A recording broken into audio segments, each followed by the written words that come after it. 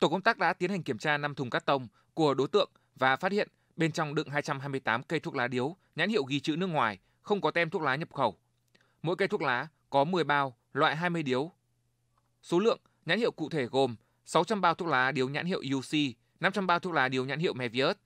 420 bao thuốc lá điếu nhãn hiệu Junyan, 260 bao thuốc lá điếu nhãn hiệu Trung Hoa và 500 bao thuốc lá điếu hiệu Double Happiness.